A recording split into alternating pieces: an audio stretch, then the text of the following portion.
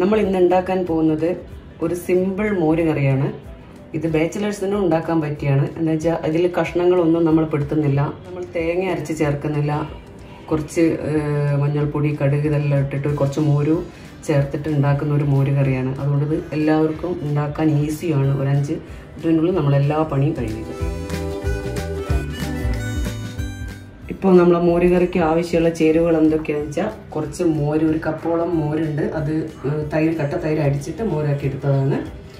പിന്നെ രണ്ട് മൂന്ന് വറ്റൽ മുളക് കുറച്ച് കറിവേപ്പില കാൽ ടീസ്പൂൺ കടുക് കാൽ ടീസ്പൂൺ ഉലുവ അതേമാതിരി കാൽ ടീസ്പൂൺ ജീരകം കാൽ ടീസ്പൂൺ മഞ്ഞൾപ്പൊടി ഒരു പിഞ്ച് മുളക് പൊടി. മുളക് പൊടി നമ്മളൊരു കളറിന് വേണ്ടിയിട്ടാണ് ചേർക്കുന്നത്. ഒരു അഞ്ച് ആറ് ചെറിയ വെളുത്തുള്ളി ചതച്ചതാണ്. ഒരു ചെറിയ കഷ്ണം ഇഞ്ചി ചതച്ചെടുത്തതാണ്. ഒരു നാല് അഞ്ച് പച്ചമുളക് കീറിയെടുത്താണ് ഈ പച്ചമുളകിന് പകരം നമ്മളെ കാന്താരി ഉണ്ടെങ്കിൽ അതാണ് നല്ലത്. മോരുകറിക്ക് കുറച്ചും കൂടി ടേസ്റ്റ് കാന്താരി ആയിരിക്കും.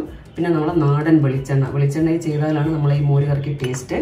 പിന്നെ ആവശ്യത്തിന് ഉപ്പ് നമ്മൾ ആവശ്യത്തിനുള്ള വെള്ളവും നമ്മൾ ഒരു പാത്രം അടുപ്പത്ത് വെച്ചിട്ടുണ്ട്.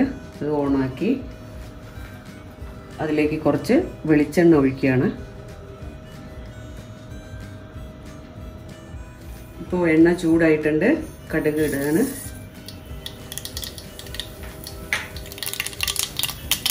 കടുക് പൊട്ടി വരുന്നുണ്ട്. അതിലേക്ക് നമുക്ക് ഉലുവ ചേർക്കാം. വരുന്നുണ്ട് നമുക്കിനി ജീരകം ഇട്ട് കൊടുക്കാം.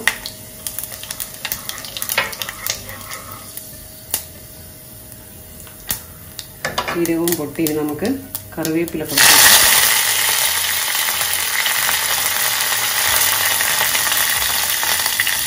വറ്റൽ മുളക് ചേർക്കാം.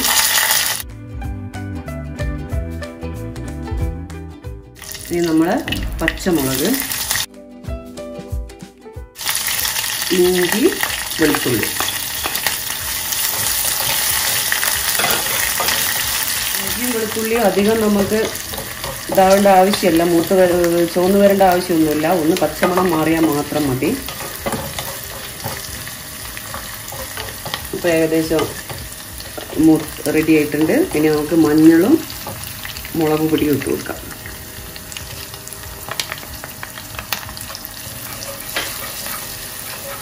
പൊടികളിടുമ്പോൾ തീ കുറച്ച് വെക്കണം. ഇല്ലെങ്കിൽ പൊടിയെല്ലാം കരിഞ്ഞു പോകും.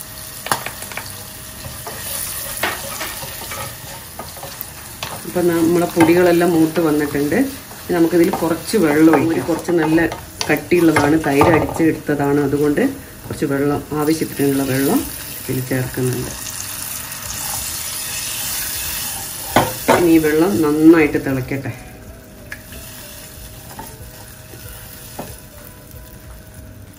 വെള്ളം തിളച്ച് വരുമ്പോഴേക്കും നമുക്ക് കറിക്ക് ആവശ്യമുള്ള ഉപ്പും കൂടി ഇതിലിട്ട് കൊടുക്കാം. കറി അതിനനുസരിച്ച് നിങ്ങൾ വെള്ളം ചേർത്തോളൂ. മോര് ചേർത്തിട്ട് നമ്മൾ തീരെ വെള്ളം ചേർക്കൂല. മോര് തള ഒഴിച്ച് അപ്പം തന്നെ തള വരുന്നതിന് മുമ്പ് നമ്മൾ ഓഫാക്കിയിട്ട് വാങ്ങും. അപ്പോൾ അതിന് വേണ്ട മാതിരി വെള്ളം ഒഴിക്കാം. പിന്നെ വെള്ളം ഒഴിച്ചാൽ കറി നമ്മൾ ടേസ്റ്റ് മാറിപ്പോകും ഇപ്പം നമ്മൾ ഒഴിച്ച് വെള്ളം നന്നായി തിളച്ചിട്ടുണ്ട്. ഞാൻ മോരൊന്ന് ഇളക്കി ഇതിലേക്ക് ഒഴിച്ചു കൊടുക്കുകയാണ്. തീ കുറച്ച് കൊടുക്കുക.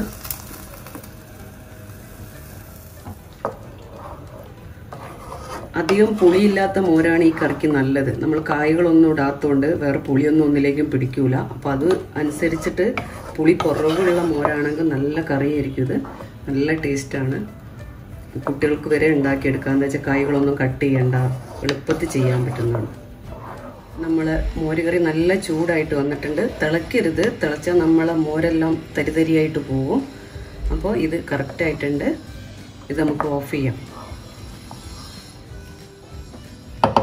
ഈ മോരുകറി നല്ല ടേസ്റ്റാണ് ഇത് എന്തായാലും നിങ്ങൾ ചെയ്ത് നോക്കണം. നമ്മൾ ഇഞ്ചിന്റെയും വെളുത്തുള്ളിന്റെയും ജീരകത്തിന്റെയും എല്ലാ ടേസ്റ്റും നന്നായി പിടിച്ചിട്ടുണ്ടോ ഒരു സിമ്പിൾ മോരുകറിയാണ് നമുക്ക് പെട്ടെന്ന് ചെയ്തെടുക്കാൻ പറ്റും. ഇതിന് നല്ല കോമ്പിനേഷൻ എന്ന് വെച്ചാൽ നല്ല ഉരുളക്കിഴങ്ങിന്റെ ഫ്രൈ ഉരുളക്കിഴങ്ങ് ഫ്രൈ ആക്കി എടുക്കുന്നതാണ്. അത് നിങ്ങൾക്ക് ഞാൻ കാണിച്ചു തരാം. അതെങ്ങനെയാണ് ചെയ്യുന്നത്?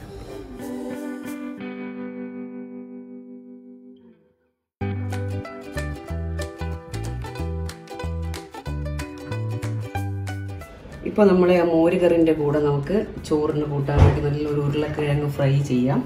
അതിന് ഉരുളക്കിഴങ്ങ് ഞാൻ ഒരു രണ്ട് ഇത് പകുതി കുറച്ച് കേടായിപ്പോയി അത് കട്ട് ചെയ്താണ്. ഒരു നാല് രണ്ട് ചെറിയ ഉരുളക്കിഴങ്ങും അത്യാവശ്യം വലിപ്പമുള്ള രണ്ട് വലിയ ഉരുളക്കിഴങ്ങും. അത് വേവിച്ചിട്ട് തോൽ പോക്കിയിട്ട് എടുത്തു വെച്ചാൽ ഇത് നല്ല വേവ് വേവിക്കരുത്. എന്ന് വെച്ചാൽ നമുക്കിത് കട്ട് ചെയ്യുമ്പോൾ നന്നായിട്ട് ചെതറിപ്പോകും അപ്പോൾ അതുകൊണ്ട് ഒരു മുക്കാൽ ഭാഗം വേവായാൽ മതി. ബാക്കി നമ്മൾ ഫ്രൈ ചെയ്യുമ്പോൾ അതിൽ നിന്ന് വെന്തോളും. അപ്പോൾ ആ ഉരുളക്കിഴങ്ങ് പിന്നെ മസാലയ്ക്ക് വേണ്ട പൊടികൾ ഒരു ടീസ്പൂൺ മുളക് പൊടി ഒരു അര ടീസ്പൂൺ മഞ്ഞൾപ്പൊടി കാൽ ടീസ്പൂൺ കുരുമുളക് പൊടി കാൽ ടീസ്പൂൺ ഗരം മസാല ഒരു പിഞ്ച് ജീരകത്തിന്റെ പൊടി പിന്നെ മുഴുവനായിട്ടുള്ള ജീരകം ചെറിയ ജീരകം കുറച്ച് വേണം. കുറച്ച് കറിവേപ്പില ഫ്രൈക്ക് ആവശ്യമുള്ള വെളിച്ചെണ്ണ. വെളുത്തുള്ളി ഇഞ്ചി പേസ്റ്റ് എന്ന് പറഞ്ഞുകൂടെ നമ്മൾ ചതച്ച് വെച്ചാണ് പേസ്റ്റിനേക്കാളും കുറച്ചും കൂടി ഇങ്ങനെ ചതച്ച മാതിരി എടുക്കുന്നതാണ് നന്നാവുക. പിന്നെ ആവശ്യത്തിന് ഉപ്പും. നാരങ്ങയുടെ നീര് വേണം. അപ്പോൾ ഞാൻ ഒരു കാൽ കാലേ എടുത്തിട്ടുള്ളൂ. അരയും ഇല്ല. ആ കാൽ അരേന്റെ പകുതി. കുറച്ച് നീര് ഉരുളക്കിഴങ്ങൊന്ന് കട്ട് ചെയ്തെടുക്കാം.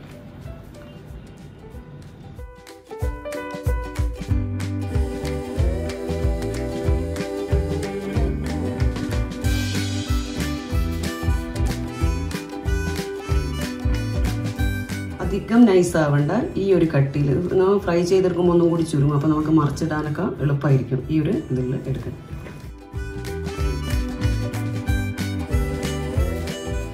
ഇപ്പോൾ നമ്മൾ ഉരുളക്കിഴങ്ങെല്ലാം നമ്മൾ കട്ട് ചെയ്തിട്ടുണ്ട്. അതിന്റെ അകത്തേക്ക് നമുക്ക് ഈ മസാലകളെല്ലാം ചേർക്കാം.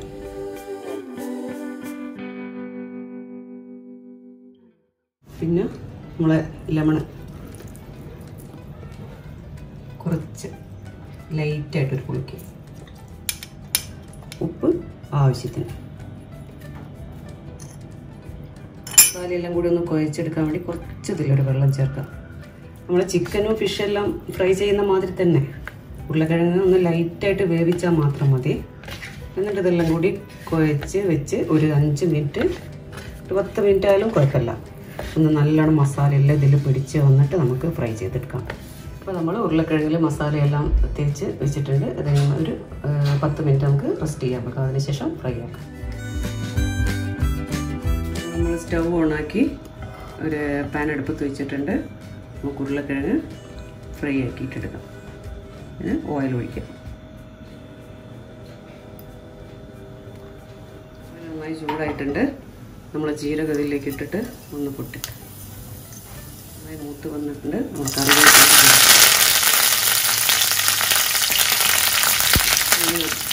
നമ്മൾ പരത്തി വെച്ച ഉരുളക്കിഴങ്ങ് ഓരോന്നായിട്ട് ഇതിൽ വെച്ച് കൊടുക്കുക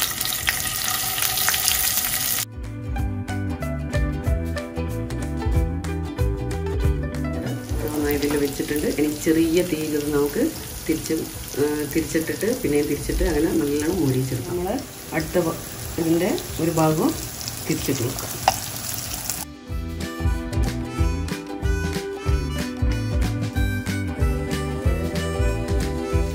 ടേസ്റ്റാണ് കുട്ടികൾക്ക് ലഞ്ച് ബോക്സിലൊക്കെ കൊടുത്തു വിടാനൊക്കെ നല്ലതാണ്. നമ്മൾ തൈര് സാധത്തിന്റെ കൂടെയും തക്കാളി സാധത്തിന്റെ കൂടെയും. പിന്നെ സാധാ എല്ലാ ചോറ് ചോറിന്റെ നമ്മൾ ഇതിലൊക്കെ കൊടുത്തു വിടാൻ നല്ലൊരു നമ്മളിപ്പോൾ ഇത് എടുത്ത പടി കഴിക്കുകയാണെങ്കിൽ കുറച്ച് ക്രിസ്പി ആയിട്ടുണ്ടാവും. അതല്ലെങ്കിലും ഒരു പ്രശ്നവുമില്ല. കുറച്ച് സോഫ്റ്റ് ആയിട്ട് തന്നെയാണ് ഉണ്ടാവുക. ക്രിസ്പിനെസ് ഉണ്ടാവില്ല എന്ന് മാത്രമേ ഉള്ളൂ. കുറച്ച് സമയം കഴിഞ്ഞിട്ടാണെങ്കിലും നല്ല സോഫ്റ്റ് ആയിട്ടുണ്ടാവും. ആദ്യം നമ്മളൊന്ന് വേവിച്ചതാണല്ലോ. ഒരു മുക്കാൽ ഭാഗം നമ്മൾ വേവിച്ചിട്ടുണ്ട്. പിന്നെ നമ്മൾ ഈ എണ്ണയിൽ കിടന്നിട്ട് ഒന്നും കൂടി മതി. എന്തായാലും ഇത് ട്രൈ ചെയ്യണം. സൂപ്പർ സാധനം.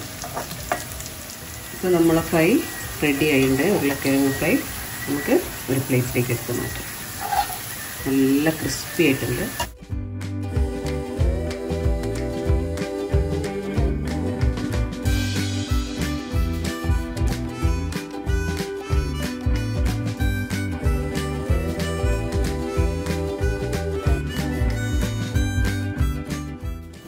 ഉരുളക്കിഴങ്ങ് ഫ്രൈ റെഡി ആയിട്ടുണ്ട്